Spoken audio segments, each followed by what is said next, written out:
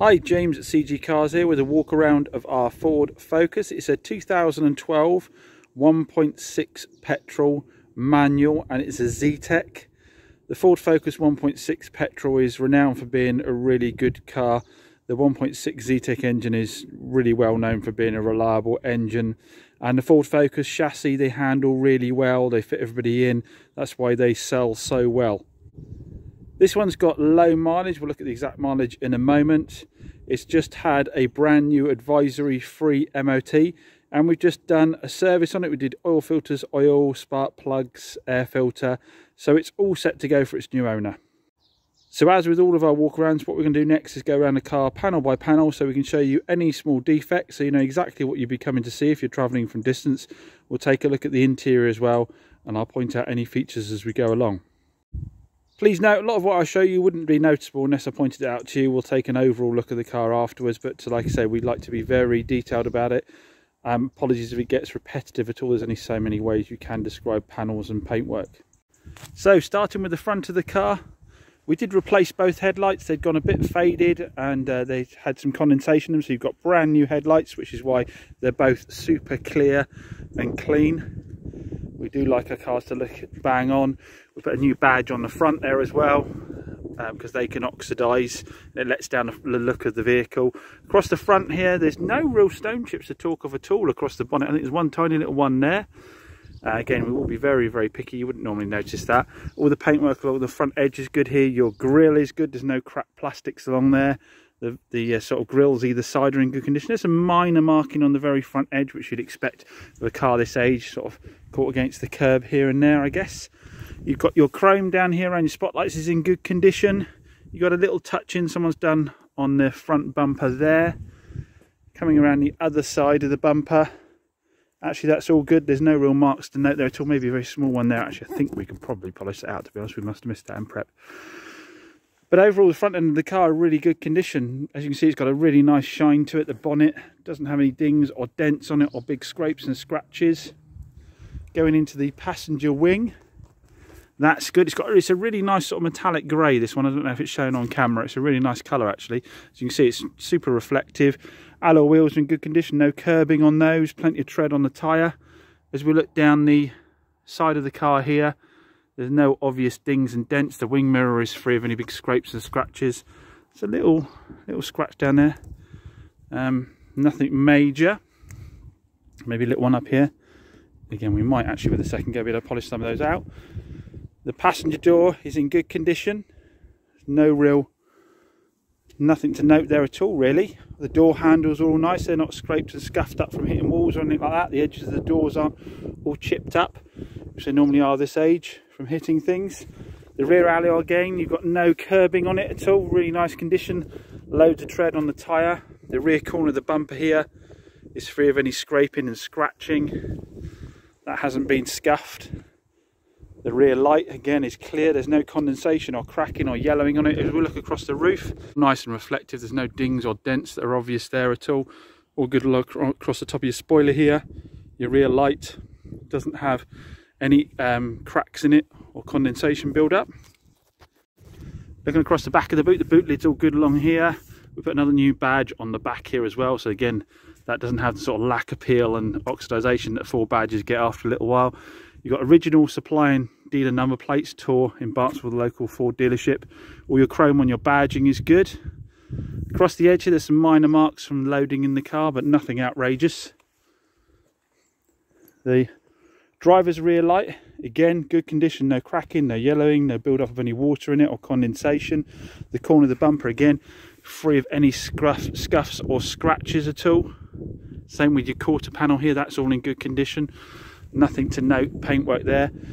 Again, your alloy here is in nice condition. There's a little bit of flaking paint just up the top there. And you can see a bit of oxidization here on this wheel. Again, plenty of tyre tread there. The passenger door, Again, really good. No scrapes or scratches to note. Door handle's not all banged up. Edge of the door is sort of, there's one little little chip just there, I think. Uh, the driver's door, again, wing mirror is free of any scrapes and scratches. The door handle doesn't have any scrapes and scratches, and the edge is pretty free again of chips. It's been well looked after. The paint on this door is in good condition, again nice and reflective, no scrapes or scratches. And the final panel being the driver's wing. And again, nothing really to note here at all. No scrapes, no scratches, no dents, no dings. The alloy's in good condition. No curbing on the alloy and loads of tread on the tyre again. So if we look at the car in a normal manner, not going quite so close up and being quite so picky, it looks in excellent condition. It really does. Like so there's little things we did like replace the headlights. Well, not so little because they are quite expensive. Replacing the headlights and uh, changing the badges out just refreshes and brings the car up to meet the rest of the paintwork, which is really good. And overall, like I say, for the age of the vehicle, over 10 years old now, really does look good. Let's take a look at the interior. So inside again, all the seats are nice and clean and tidy. There's no rips or tears or staining to them at all. Really nice. All your plastics here are good around the centre console. Then it all scraped. There's one little bit of flaking paint just there on the edge of the gear surround. Again, nothing major, nothing you'd really notice without sort of picking, picking being pointed to it. You've got your electric mirrors, electric windows, all the buttons there again are good. They're not worn through at all. On your steering wheel, we'll hop in a second. On your steering wheel, you have your Bluetooth controls for your telephone calls and voice activation. You've got your, your uh, stereo controls there. Exact mileage 42,312, so nice low mileage. All your buttons on your stereo in good condition, they're not worn through at all. You've got your CD, your radio, your auxiliary input, so you can plug your phone into the sound system and play your um, music straight through the phone as well. You've got your phone, obviously, a menu for the rest of the features. Five speed gearbox, not worn through on the leather there. You've got a heated front screen, so if you go up close, you'll see there's little little wire lines inside the screen.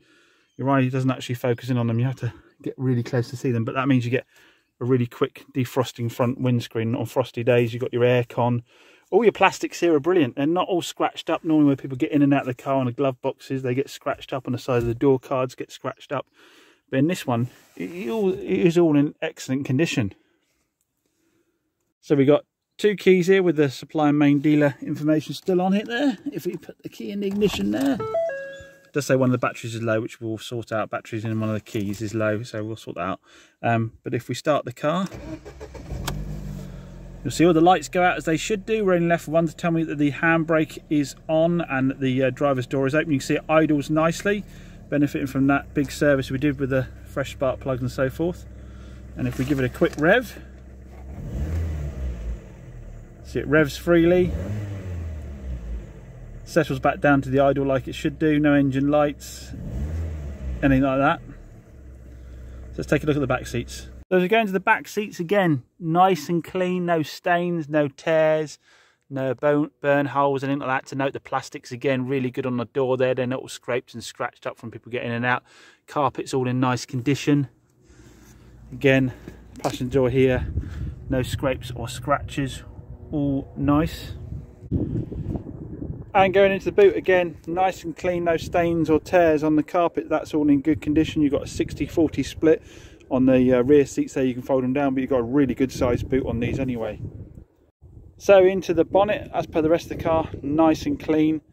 Uh, we've just as I said just done a, a big service on I had the uh, oil filter air filter oil and spark plugs changed. Your coolant's the right color at the right level.